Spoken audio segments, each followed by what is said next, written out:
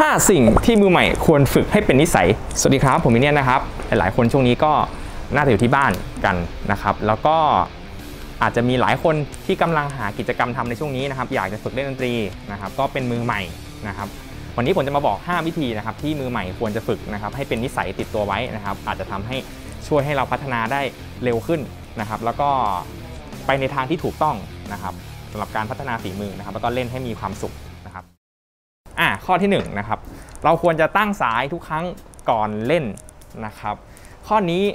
เป็นอะไรที่หลีกเลี่ยงไม่ได้ เพราะว่านะครับการตั้งสายนะครับให้ตรงเป๊ะๆเนี่ยมันจะทำให้หูเรานะครับจดจำนะครับค่าโน้ตที่ถูกต้องนะครับพิชที่ถูกต้องระดับเสียงที่ถูกต้องแม่นยำนะครับ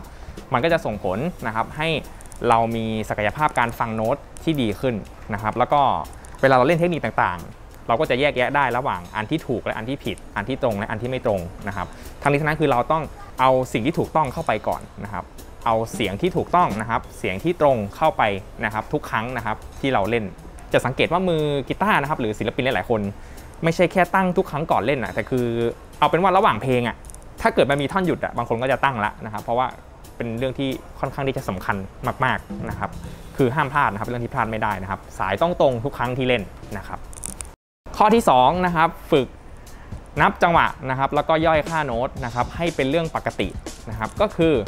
สมมติว่าเราได้ยินเพลงที่มันมีจังหวะอาจจะสมมติอย่างกลองง่ายๆนะครับตึกโปะตึกตึกอย่างเงี้ยเราควรจะมีบีทอยู่ในใจที่เรานับไว้อยู่ตลอดเวลานะครับแล้วเราก็ควรจะย่อยค่าโน้ตให้ได้นะครับ อย่างเช่นอะเราเล่นอยู่ใน beat นี้ เราย่อยได้ เป็นสามพยางค์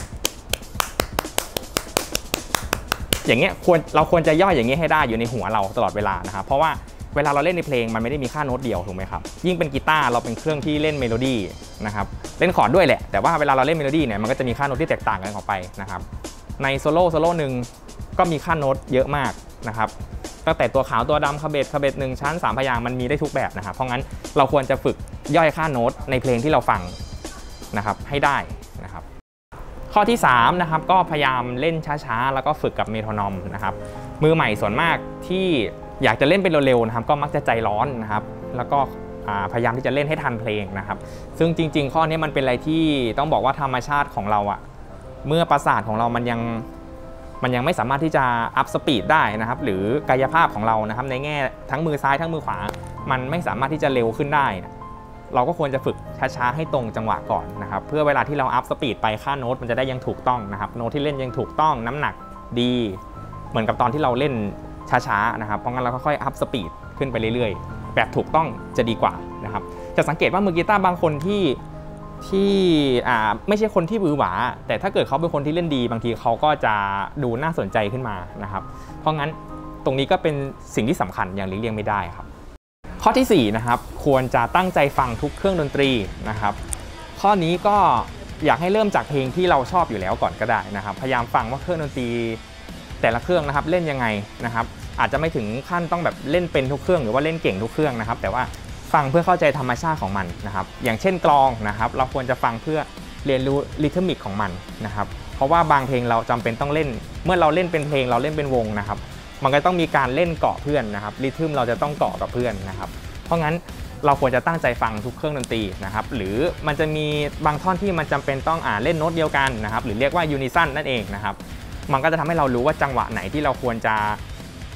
เน้นหน่อยไหม ถ้าเกิดมันตรงนี้มันเราต้องเล่นพร้อมกับเบสเป็นโน้ตเดียวกัน เราควรจะเน้นให้มันชัดเจนไหม หรือตรงไหนเราควรจะเบาให้เพื่อนนะครับ เพราะงั้นการฟังทุกเครื่องดนตรีก็เป็นสิ่งที่สำคัญอย่างเลี่ยงไม่ได้ครับ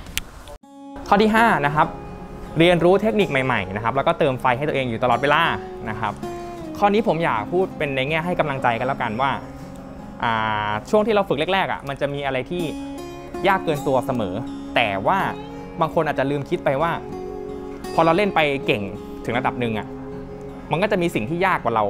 อยู่เสมอนะครับเหนือฟ้ายังมีฟ้าจะพูดคำนั้นก็ได้นะครับ คือหมายถึงว่าอ่าโอเค เราเล่นแรกๆเราหาจับคอร์ดทาบ นั่นเป็นอะไรที่ยากละ เมื่อวันหนึ่งเราผ่านจุดนี้ไปได้เราอาจจะรู้สึกว่าเออ เราก็เล่นเป็นแล้วนะระดับหนึ่งแต่นอกจากนั้นมันจะมีเทคนิคอะไรมากมายที่มันยังแบบที่เราต้องก้าวข้ามไปอีกอะอีกเยอะมากเลยครับ แล้วมันจะทำให้เรารู้สึกว่ามันเราท้อเพราะงั้นตรงนี้เราควรจะชินกับมัน แล้วก็พยายามเติมไฟให้ตัวเองตลอดเวลาว่าเออทำใจให้ชินเลยว่ามันมีอะไรที่ยากกว่าเราที่เราต้องผ่านทาเราอยากจะเก่งขึ้นเราต้องก้าวผ่านมันให้ได้ ตรงนี้มันเป็นเรื่องที่ยากนะครับ เพราะงั้นให้ชินไว้นะครับ แล้วก็พยายามหาอะไรดูหาอะไรฟังตลอดเวลานะครับ อาจจะดูจากคนรอบข้างก็ได้นะครับ ว่าเขาฟังอะไรเขาเสพอะไรเออมีมือกีตาร์คนไหนบ้างที่ดูแล้วเราอยากฝึกอะไรเงี้ยก็พยายามหาใหม่ๆตลอดนะครับ ก็จะทำให้เราอยากเล่นแล้วก็อยากข้ามขีดจำกัดตัวเองไปเรื่อยๆครับเป็นยังไงกันบ้างครับสำหรับ 5 ข้อที่บอกไปนะครับ ก็หวังว่าจะเป็นประโยชน์เพื่อนๆนะครับ โดยเฉพาะอย่างยิ่งมือใหม่นะครับ ที่กำลังแบบต้องการกำลังใจนะครับ หรือต้องการ